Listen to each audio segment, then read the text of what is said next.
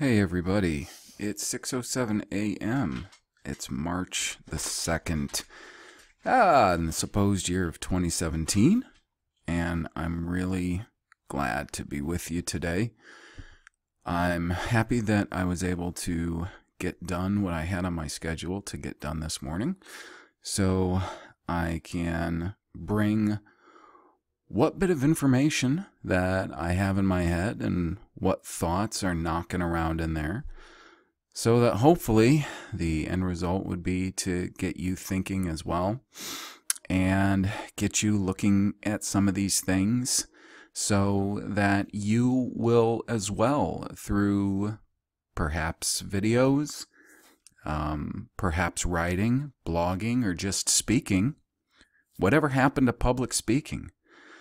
We need to start doing that more often. I've considered it myself, putting together PowerPoint presentations and doing public speaking. Print up some, print up some, uh, some flyers on a topic. Get people together. Get people to gather in a place. It doesn't have to be a big place because you're not going to get that many people to come out at first. You know, we've all been, we've all been so separated. Walls have been built between us so badly. I mean that we don't even talk to our own neighbors.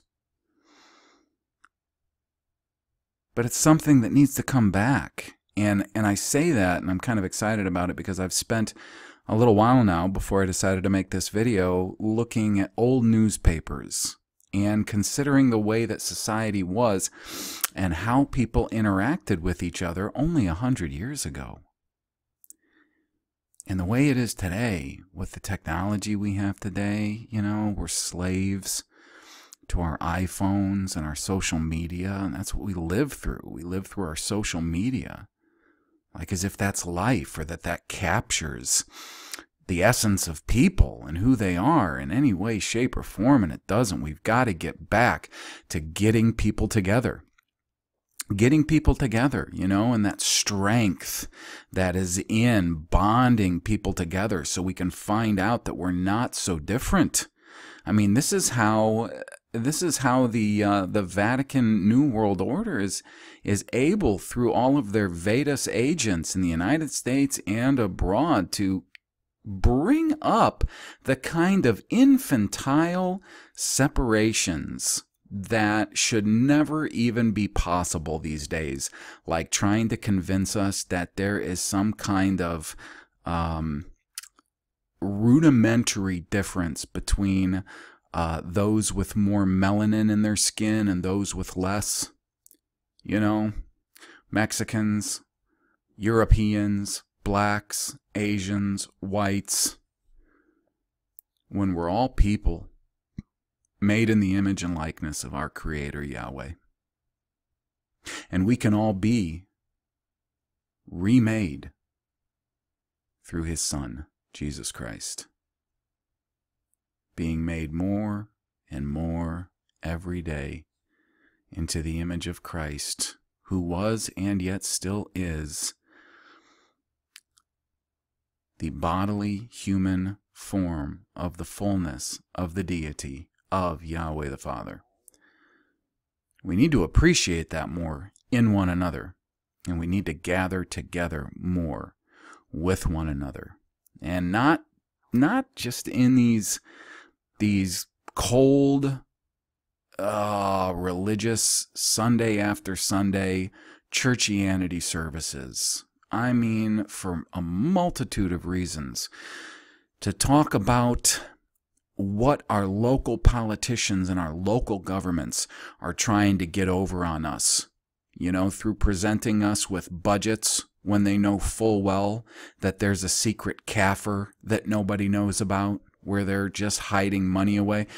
Our government, just in this country, not to mention worldwide, they have so much money that we don't know about. National debt, forget about it. Forget about it. There's no reason to even have it. But we're not going to know about these things. We're not going to know what to do about these things. We're not going to have any kind of of mental, philosophical, psychological, and more importantly, spiritual solidarity between one another and especially the body of Christ if we keep living through our iPhones instead of getting together, visceral, you know, shoulder to shoulder in one room and experience things together. Public speaking, meetings, real things, living a real life, not through iPads and iPhones and computers, real life, living life. And that, in part, is what I hope to inspire some to do when they start considering these things. I want to inspire you because I can tell you with no self imposed uh, faux humility that I am not, uh, you know, I'm not more special than the next guy. I was born a, a very normal person in a normal life in the backwoods of Indiana. And I was raised in a very normal farm type environment. We weren't farmers, but we were raised on a farm. We were rented a farm, farmhouse, barn on it. We did raise livestock, chickens, pigs. We raised a large garden. Our garden was about an acre total, stretched out wide across our property. So the rows were only about 20 feet deep, maybe. It was a big garden, though. But there was nothing special or abnormal about my life. It was about as normal as as it gets. I'm I'm you know I'm sure I was made in a un, unique way uh, by the Father, like everybody is, and for some time now, I've been being remade, i.e., sanctified, uh, being remade in the image of Christ Jesus, the only begotten Son of the Father Yahweh. And so that's that's a very wonderful thing, but I think all of us we still retain a certain uniqueness though even in that process. But all those things considered, um, there's there's nothing all that um there's nothing all that special about me. It's just maybe that maybe it's just there's so many people out there that don't realize how unique and special and valuable they are. Because yeah, through the education system and, and mass media, television, movies, um, disgusting things that should not even exist, like pornography and ultra violent sporting events and things like that, we have gotten this idea in our heads that man is less than what man really is. Or that we individually are less than what we really are. We are beings, and get this through your head, we are beings made after the image and likeness of the Almighty Supreme Being, Yahweh, God, Elohim, the Creator of everything, the Sustainer of everything. And if you are in Christ Jesus, His only begotten Son, by grace through faith, you can know that every day you are being more and more conformed to his image and thus to the image of the Father. That is something to be celebrated, absolutely celebrated about mankind. And we can all do magnificent things in Him who strengthens us. And I do really hope to inspire some of you to go beyond where you're at because you are more than the lot in life that the insatiable machine has convinced you is all your life is going to add up to. I don't care if you're a janitor or a PhD professor, you are not what you could be in Christ.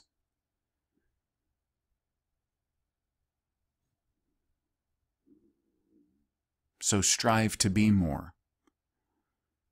Don't tell yourself this, well, he's God, I'm not, I can't. Nonsense. You can do all things in him who strengthens you. This idea of Christ being co equal, co eternal with the Father, that was something that came along in the fourth century. It was pretty much unheard of before that time. He's remade, when I say He, Yahweh, has remade man in Christ. Look at Romans. First Adam, last Adam. The first Adam, sinful man. Man removed more and more every generation from that original image and likeness that Yahweh made Adam in, which was after himself. He became more and more and more and more and more removed until, I'm going to say, about 1700 years ago. The Holy Spirit, that would be God's Spirit and power, inseminated, well, not inseminated because that implies semen, created life in the womb of Mary. And Jesus of Nazareth was born, the last Adam.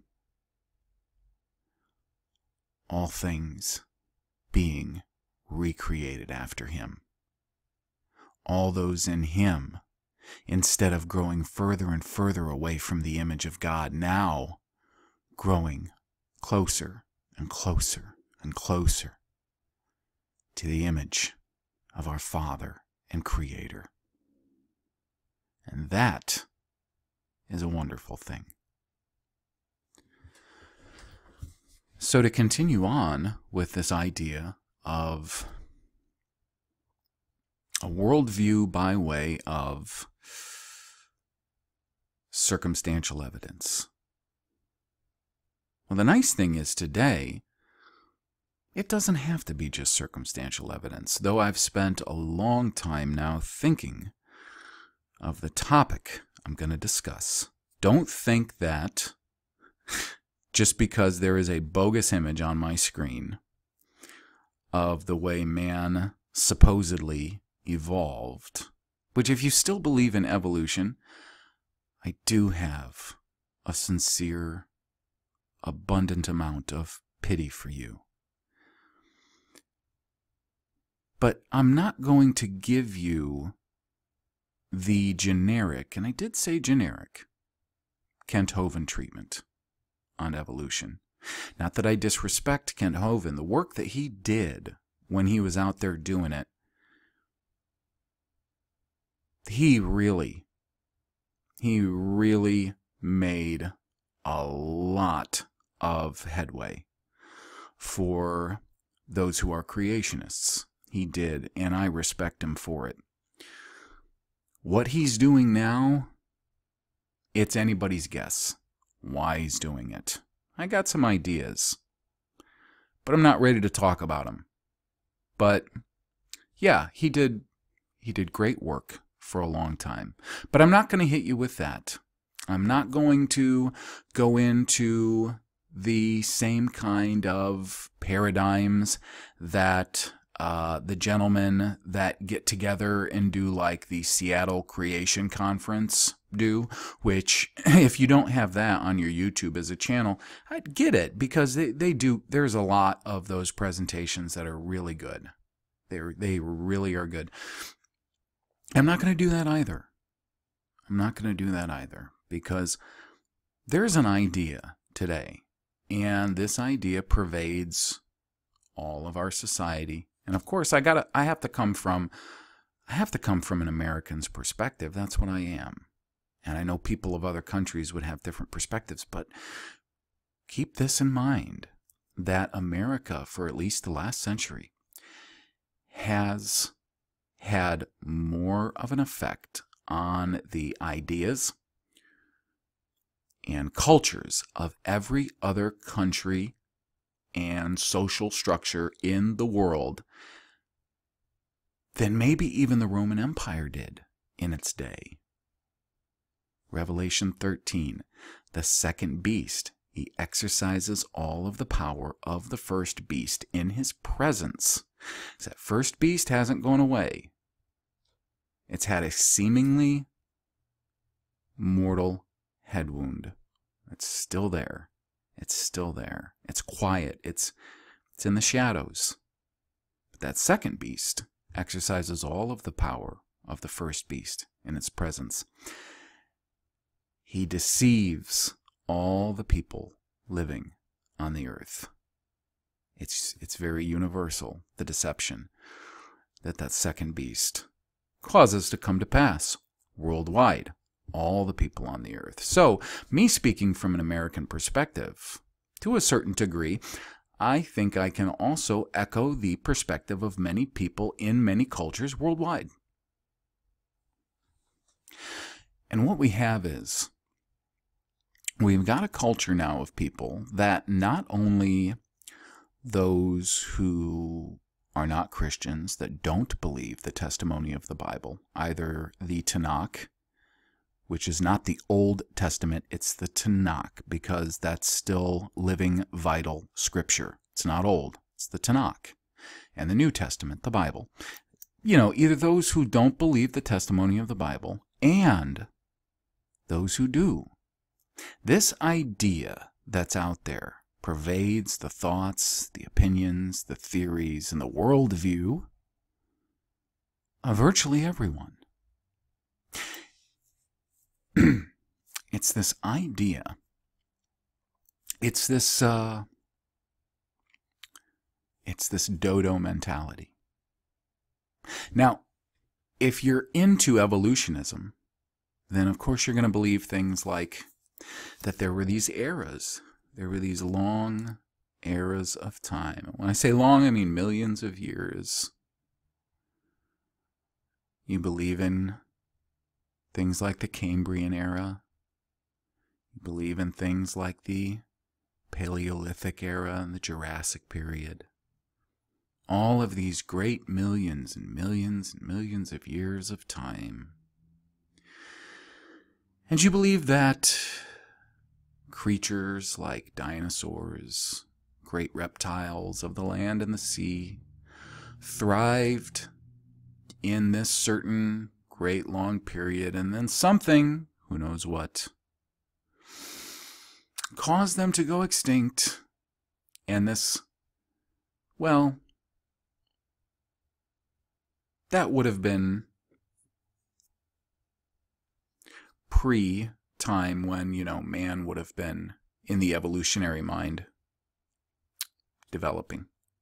Though still extremely simian, I'm sure. But then you know, after that, you would have had the animals thriving on the earth that were more like the mastodons and the saber-toothed tiger and giant sloths. And you have to actually shelf these things in these different eras, millions of years long and everything. Okay, so that's that's a basic overview um, without being purposely insulting towards uh, evolutionism. Although I have no respect for it whatsoever, uh, the description I just gave, I wasn't being deliberately insulting. Just want to make that clear. Although it's absurd. But guys like oh, the ones who do your guys like Kent Hovind and Kent Hovind, Mike Riddle. Oh, I can't think of them all. I can't include Hugh Ross because he's guys like that. What they do is they draw the line in the sand at the millions of years, way before the millions of years. And most of them most of them will group up and say, okay, we affirm that the earth is somewhere between about six and 10,000 years old. Can't be any older. And then what they'll do is they will apply what, again, what the machine and secular science has given them concerning data.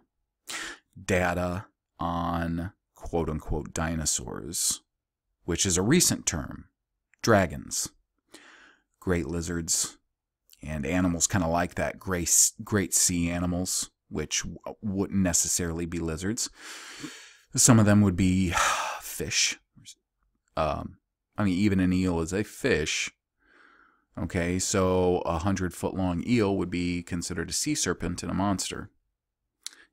Amphibian uh, type of animals. And, and then the animals I was talking about, like the mastodons or saber tooths and things like that. What they would believe then is that all of these creatures then were created uh, in the beginning and during the six day, six literal day creation of Yahweh, as recorded in Genesis 1 and 2. And that what happened was that many of these animals have gone extinct. They'll they they will give you reasons like, well, you know, brachiosaur type animals had these huge bodies, but they had small nostrils. So um, they started experiencing bouts of hyperventilation. And uh, eventually, since nobody had invented any giant breathers, they became extinct. Or they will tell you that the layout of the earth became so different and maybe with continental drift and uh, the freezing of the poles because most of them believe that we live on a ball flying through space. You know when i look back on it because i did I mean, any of any of us who these days will say proudly and firmly, "Yeah, I'm a flat earther." Absolutely. Yeah, why? Well, I got common sense. A. And B, I believe in the scientific method, so I'm kind of locked into being a flat earther, but you know, I believed in the globe too. I was just raised being told that. Just like the system I'm going to be talking about with the so called extinction of so many species of animals. You really got to scrutinize this theory, this paradigm. Because as I was saying, even those people that would consider themselves as creation scientists, they still believe this. Now, they don't believe the same thing that, like, the evolutionists do, where they believe that these different animals lived within certain eras in which they thrived, and then blah, blah, blah. But they still believe that tons of species of animals have, since the flood, and yes, I also believe it was a worldwide flood, not local, not continental, worldwide just because I have common sense. Um, they still believe that after this, so Noah takes all of these animals on the ark. They're all led to the ark by Yahweh, by the way. He spends a hundred years building an ark. An ark is not a ship. If you see it translated as ship, or you see it look like a ship in drawings or something else, Reject it. Reject it violently. Tear it up. Do whatever. Because it's that's not what an ark is. An ark is a preservation container. Essentially, it is a box.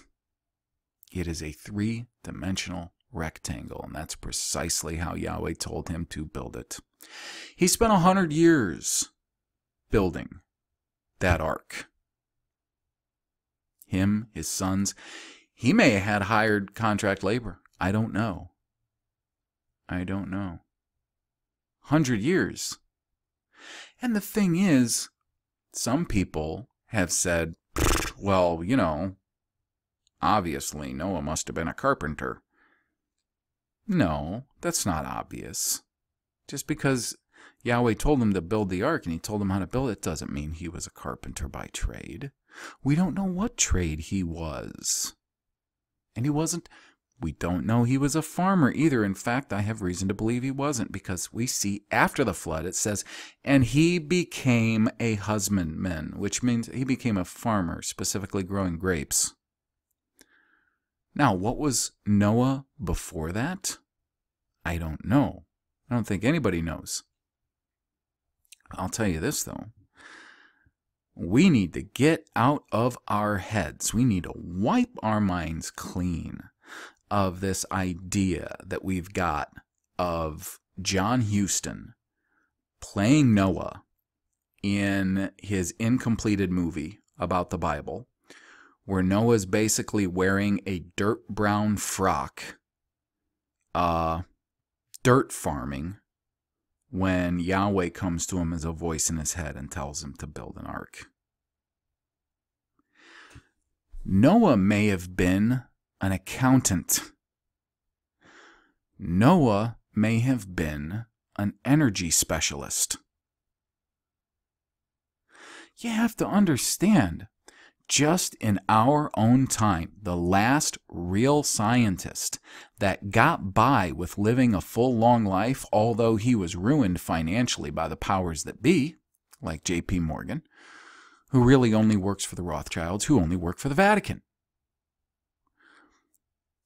But guys like Nikola Tesla, he is one of the last people with an understanding of the environment we live in who hasn't either been killed or silenced. Because there are scientists who understand that. Yahweh created an environment for us to live in that's a very electric environment. The the earth has its own vibration. This this place we live in is full of energy. Full of energy. And those people before the flood, they I promise you, I really do believe this. They would have known how to harness this energy in a way that was far more clean. Like today, the, the fuels that we use, they're not fossil fuels. Coal and oil and natural gas and the way that we use it and the way that we process it and burn it and all that stuff, it's terrible. It is junk. The gasoline combustion engine and all that. No, no. Those people before the flood, I promise you, they knew how to harness energy, real energy, clean energy, intelligent energy. And I believe that in many ways they were more advanced than us. Some might say if that were the case, why didn't many of them survive the Great Deluge? My answer to that would be is first off, I don't know if a lot of people understand how violent it was from its start, with the fountains of the great deep bursting open. Massively violent. We're talking about a massively violent event. Like nothing that's ever happened before or since. So, at its start, massively violent. And throughout a good deal of its life, violent waves there would have been so much just from the start that would have wiped people out. Consider all the animals and all the fish and everything else that were buried in mud because of the, the massive violence that happened. There were there were those that they, they believed that they were tons and tons and tons and tons of fish and marine life that were probably killed by shock waves with the fountains of the great deep breaking open.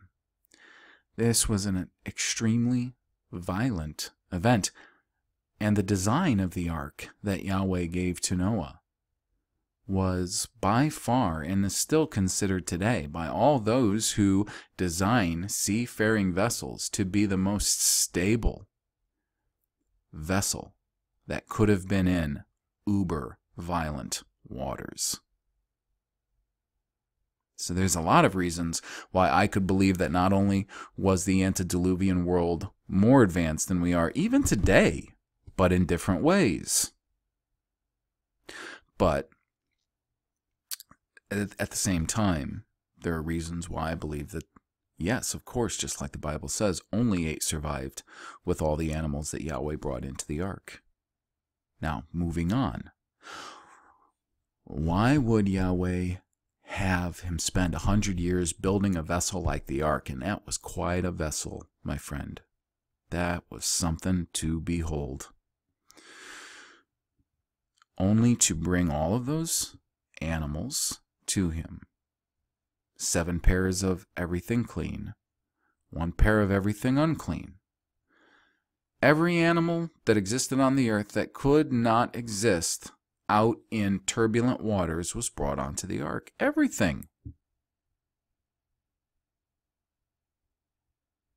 Don't listen to the folk songs. He didn't leave the unicorns out. Not that unicorns ever really existed. That's a bad translation, by the way. King James only, people. Yeah, unicorn. That's terrible translation. But uh, anyways, so he has him he has him build this fantastic preservation box. 100 years in the making. And he fills it I'm pouring myself some coffee. You got to forgive me. I got to multitask while I have time. He fills it with every kind of species of animal on the earth that couldn't survive in those waters. So a lot of sea serpents and everything. He didn't have to. He didn't have to worry about them. They were they were they were fine. And preserves all of them through this worldwide catastrophe, only to bring them out on the other side and let them die. Let so many of them just die? We've got this word today. I can't stand it. I can't stand this word because it is an ignorant word. I can't believe anybody allows anybody else to use this word on them in what is considered intelligent conversation. Now I'm going to take a drink of my coffee and then I'm going to tell you the word.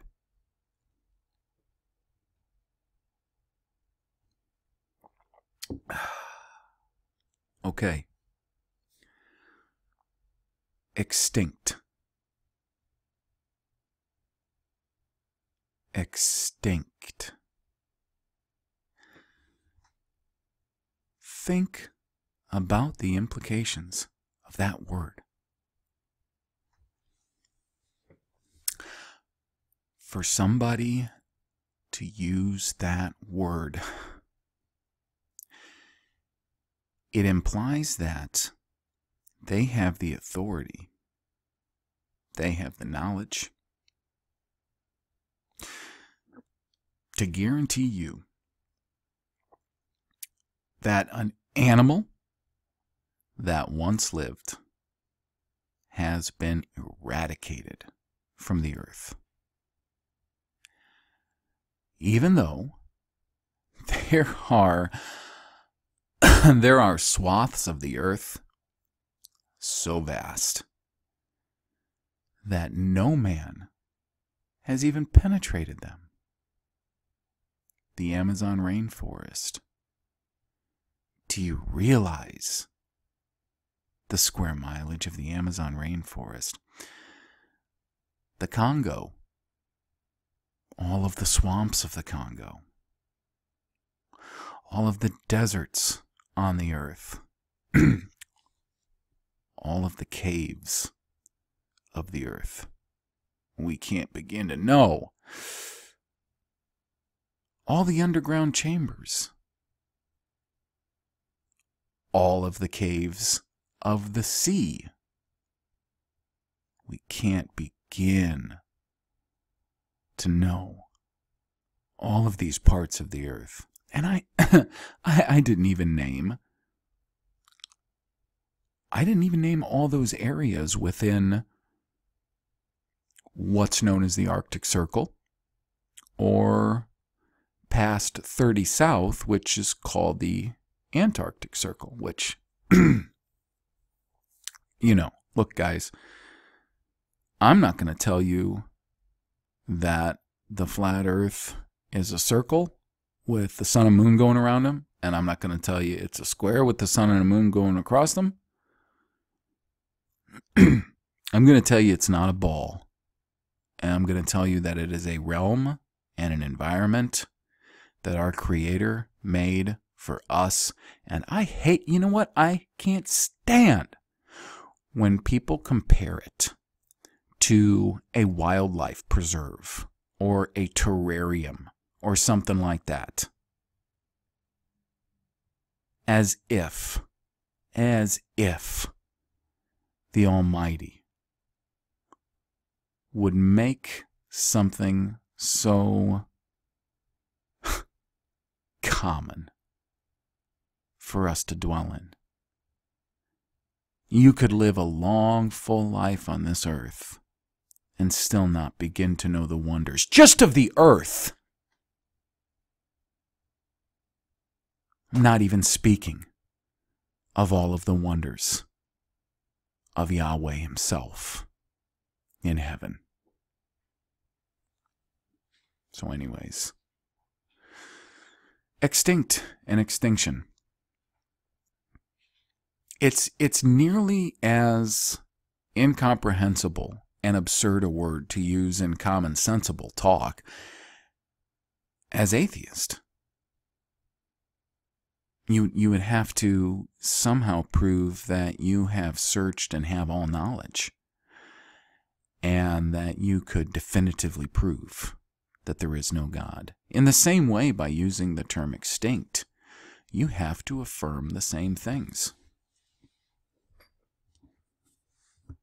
There's no proof. There's no proof that any species of animal has ever gone extinct. Ever. And why would why would Yahweh preserve them all just to let them all die off? I'll give you this. There's a lot more people on the earth now than there used to be. And when people start to grow in certain areas and multiply, they don't tend to get along very well with large animals, especially ones that seem kind of dangerous and scary. You know, they tend to fight them off. They tend to, because, you know, man is extremely resourceful and very good at hunting and working together. I, there's almost no creature that probably exists on this planet that man could not hunt down and kill. So, when man starts moving into their territory, which has happened again and again ever since the flood, and there's been stories of this which have been suppressed ever since then. These days, the experts at suppressing this kind of information would be the Smithsonian, but in general, these stories have been suppressed for thousands of years now. And but this is what happens. So yeah, there's a lot less of them probably. And they happen to be far more elusive. But extinct?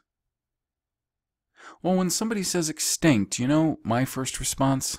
Prove it because the burden of proof is on the people making the claim that certain animal species are extinct. The burden of proof is on them, not on us. It's on them. I, and I'll tell you something concerning like um, good online libraries where you can find um, periodicals and newspapers that you don't have to pay for, that, that are just, you know, uh, logs of you know, old documents and things like that, any of you that are listening to me that know of good resources to do research, to, to find these um, publications and periodicals and newspapers or old books or anything else, please tell me because I'm always looking. I'm always looking. And um, one of my favorite places now to find information is the Library of Congress. That's fantastic. It's great. There's there's so much there's so much you can get out of it. So I started a search earlier at Library of Congress um, on periodicals. Now I tried a couple of, of general search topics, but it they were too broad. I was getting results in the mega hundreds of thousands. And I couldn't weed through it all. So I decided to condense my search. And you know, funny thing is, I found that even the next search I did, I did a search on sea monsters. I found that even that search was broad. When I punched in sea monsters, Library of Congress gave me about 260,000 articles from different newspapers all over the place. And and their search range was from 1789 to 1924. How fantastic is that? That's 135 years worth of articles and periodicals. And at that time, th- this information hadn't been as well suppressed as it is these days. So you get some real jewels. Now, all three of the stories I'm going to show you were all on the first page of my search. so, yeah, ain't that something?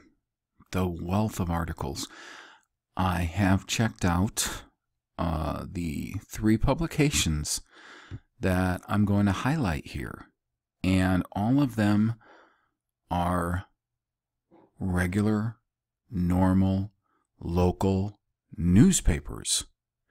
They're not sensationalist tabloids. Which, funny thing is, it's interesting about some papers that were, uh, that we were convinced were just rags. And we're finding out that there was actually quite a bit of journalistic integrity to a number of those papers that we were convinced were uh, yellow journalism sensationalist papers, when in fact we're finding out that the major papers these days have been the real sources of lies and disinformation. Interesting.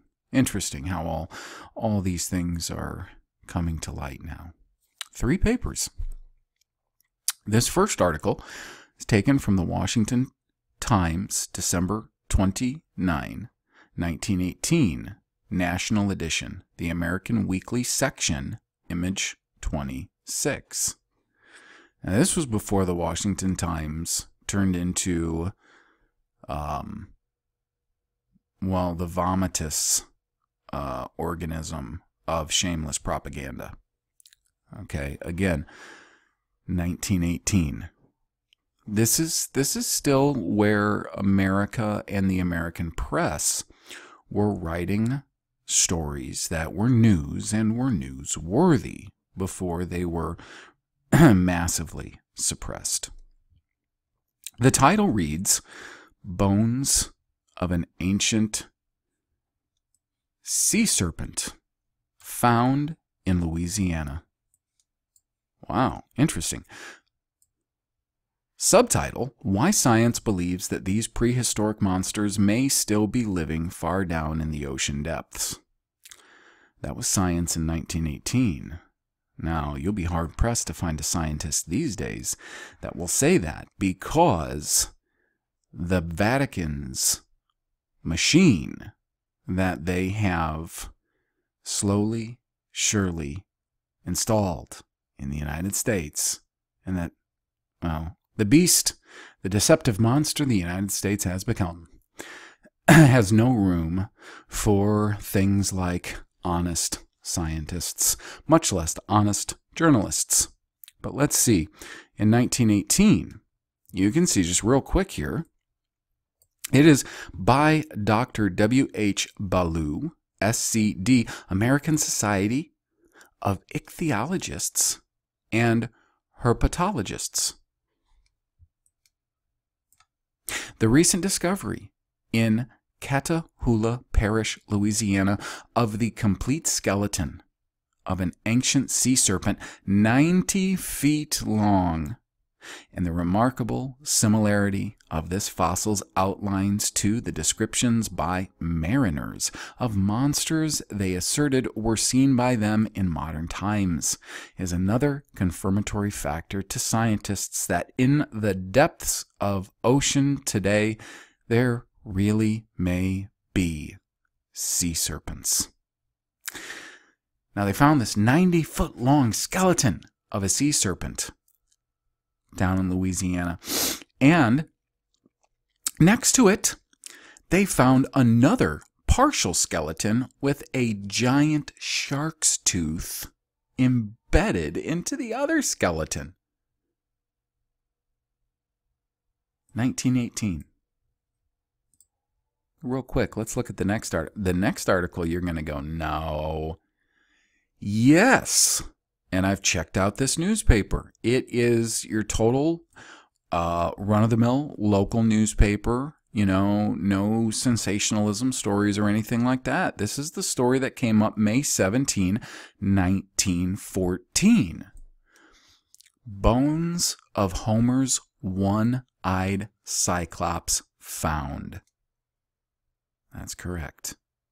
Now, some of these images are hard to show, but this is, uh, they featured an illustration of the giant Cyclops getting ready to hurl a huge boulder at Ulysses and his crew uh, in Homer's story, The Odyssey. So I'm just going to read little parts of this. You can find so much of this is so amazing in the Library of Congress's periodicals section. This is the story of the Cyclops, the hideous one eyed monster who attacked Ulysses and his companions, is one of the most thrilling passages in Homer's Odyssey. They go on to talk at length about the Cyclops described in Homer's Odyssey. Now, what's interesting is the pictures in this publication. The, the picture here on my screen where you see this giant figure and this thing has got like one big horn right here, and you see the one eye, and it looks all crazy looking, like almost kind of claw like reptilian feet and all that. Just weird, weird looking, re- really strange. It says below this picture how the monster whose bones have been found in Sicily actually looked. Sketch by one of Professor Abel's companions. Now, this Professor Abel, he's the guy who found this big, crazy skeleton that they believe to be a Cyclops in 1914 Sicily. It's got another photo to the bottom right. It's really hard to make out, but you can tell there's a man here. He might be kneeling. It says excavation in Sicily showing the spot where Professor Abel of the University of Vienna has unearthed the remains of a possible Cyclops.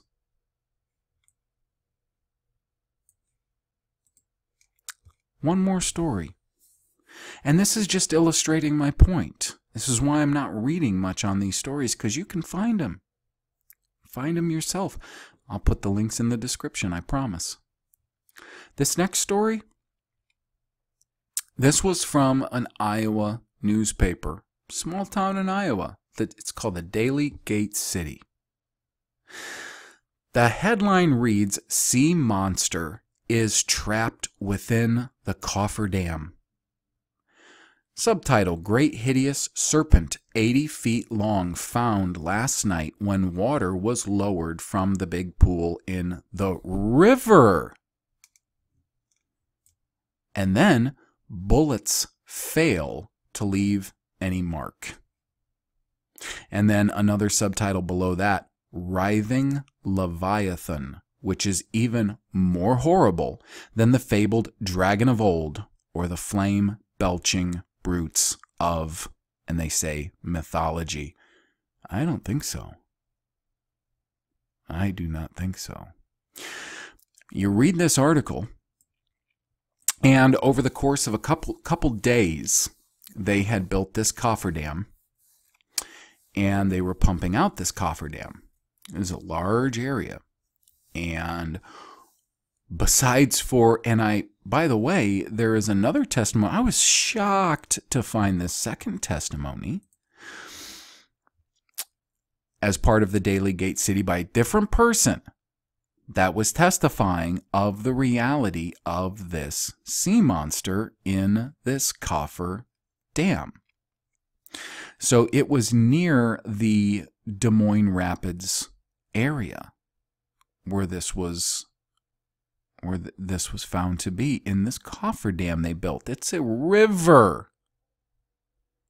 Not an ocean, a river. This article, though, it goes on to talk about this had happened over a few days. And I mean, they, the, the guys who were working on the coffer dam were so startled by what they had found.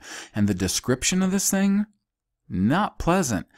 Wild description of its scales, the colors, its head, the teeth, the way it behaved the way that they were shooting at it with bullets, they believed bouncing off its scales. They said its scales were like armor. Now, I know some of you, a light bulb's going to come on right away, right? And you're going to mentally go right to Job 41.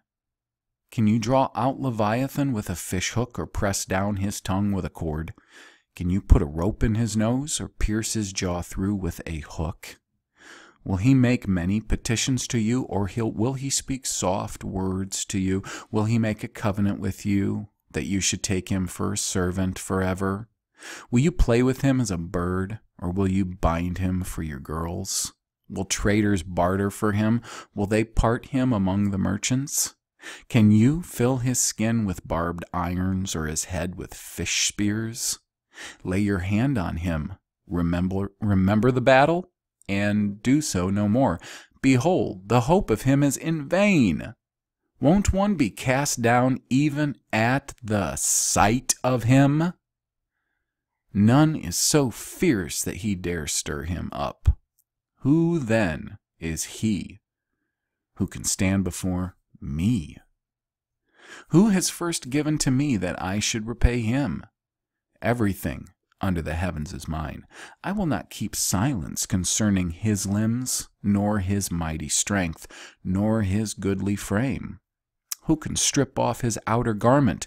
Who shall come within his jaws? Who can open the doors of his face? Around his teeth is terror. Strong scales are his pride, shut up together with a close seal. One is so near to the other that no air can come between them. They're joined one to another. They stick together so that they can't be pulled apart.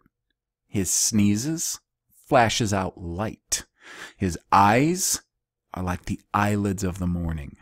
Out of his mouth go burning torches. Sparks of fire leap forth. Out of his nostrils a smoke goes, as of a boiling pot over a fire of reeds. His breath kindles coals. A flame goes forth from his mouth. There is strength in his neck. Terror dances before him. The flakes of his flesh are joined together. They are firm on him, they cannot be moved. His heart is firm as a stone, firm as the lower millstone. When he raises himself up, the mighty are afraid. They retreat before his thrashing. If one attacks him with the sword, it can't prevail, nor the spear, the dart, nor the pointed shaft. He counts iron as straw, brass as rotten wood. The arrow can't make him flee. He laughs at the rushing of the javelin. His undersides are like sharp potsherds, leaving a trail in the mud like a threshing sledge. He makes the deep to boil like a pot. He makes the sea like a pot of ointment. He makes a path shine after him. one would think the deep had white hair. On earth there is not his equal that is made without fear. He sees everything that is high. He is king over all the sons of pride. And I don't even think what they found was a Leviathan. Although they put that in the headline because it made a catchy headline.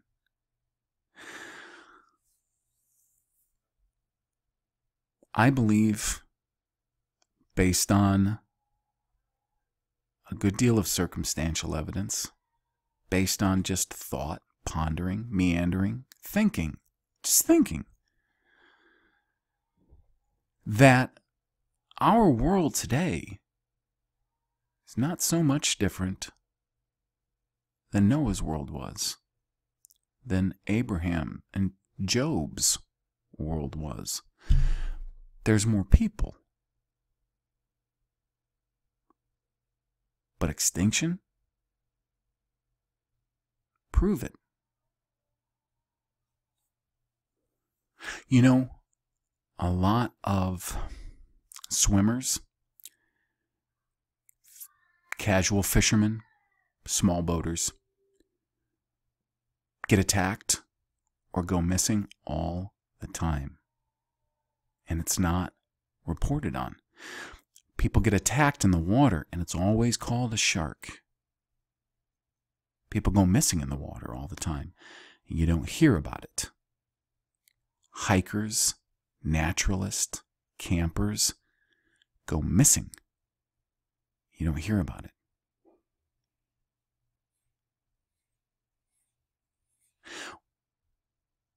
They want to tell us that things like the Thunderbirds that the natives of America talked about were either legend or some large species of bird that we have today, rather than the fact that they were most likely pteranodon and they were terrible animals. There are some natives in some parts of the world that still report um, of seeing them along certain waterways and are terrified of traveling those waterways by canoe because they have a name for them and the name equates to boat tipper. They'll live up in craggy cliff areas along rivers, and those are usually the rivers that those natives don't want to travel because those birds like to, to live up there and watch the waters for any sort of prey that they can get. They see it coming along in a canoe, they swoop down, knocking over the canoe, and once the people are in the water thrashing around trying to to stay afloat or survive or get to shore, they swoop back down, grabbing them up with talons that are probably many inches long, piercing them, causing a lot of wounding, laceration of the flesh and then bringing them back to wherever it is they uh, have their nest in, killing them probably rather quickly if the ordeal doesn't kill them already. And I mean, if they don't end up, um, well, piercing their lungs or other organs in scooping them up from the rivers and then kill them back at their lairs. Why do you think so many legends of the heroes who were dragon slayers, or the great men who killed monsters, were so revered and so cherished by so many cultures? Stories like Beowulf.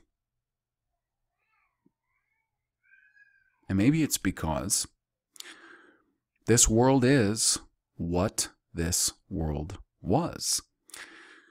And all they've done is pull the wool over our eyes and paint a picture of something that's very unrealistic a world that doesn't exist. A world that's impossibly billions of years old, millions of years old. On a ball, spinning around, flying through space aimlessly. And for some reason, so many people are so comfortable there that when you try to tell them that that's probably not the place we live, they they fight, they resist. They don't want to know. They like the safety and, and the comfort that these deceptions have afforded them.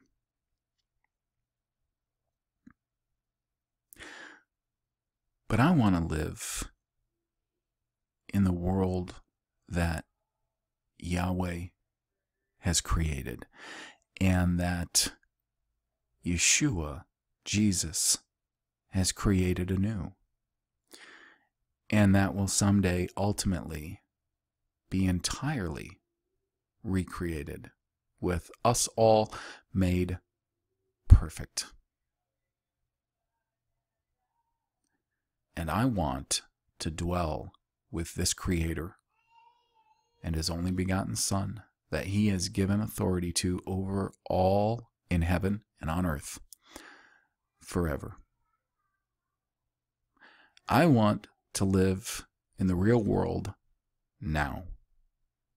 And I want to understand my Creator, my Savior and King, and this world that they've made and preside over. And there's a lot more that could be found out and that could be said about the difference between the world that people and places and entities like the Smithsonian and modern terrified science, because that's what it is. Modern scientists, they either love the current model because the current model affords them to live any way they want without the necessity of answering to a just God. They don't want to believe even how merciful He is. They don't want to answer to a just God. Guys like Richard Dawkins. So they either love the model because of that, or they're too afraid. They're too afraid of losing their jobs, losing their position, losing their respect. If they go against the mainstream views by speaking the truth or even questioning it, because they're cowards.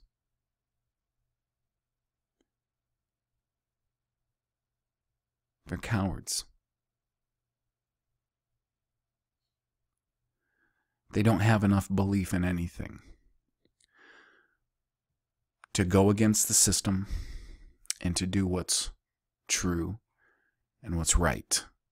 They know it'll cost them, and they have no faith in anything.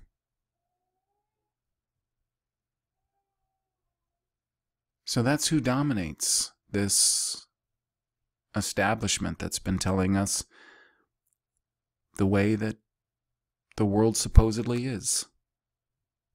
And there's just so much evidence that it's nothing like what they tell us, and that it's everything like the Bible tells us, and it yet still is. So, looking at the clock, I see that I got to get moving. It's already 7:27 a.m. Eastern Standard Time, and I've got a lot to do. So I was glad to be able to make this video today, and I'm excited about the topics that I'll be able to continue to talk about in a series of, well, who knows how many episodes it'll be on our worldviews, constructing our worldviews. Because I know that today, a lot of us are having to reconstruct our entire worldview. So we're going to have to take a look at, oh, I don't know, everything. Decide how much of it's true or believable. And what we're going to put our faith in. I would encourage you to put your faith not just in the Holy Bible, the Word of God, specifically his Messiah that he sent here to be a sacrifice for your sins, so that in believing in him, you would receive forgiveness of your sins and you would be reconciled to the Father. Imagine that reconciliation, a personal relationship to the one who made all of this.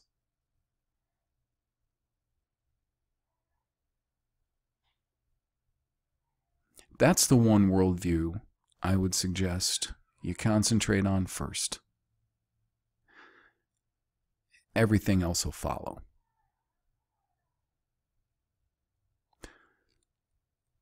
So until next time, I just got three things to say.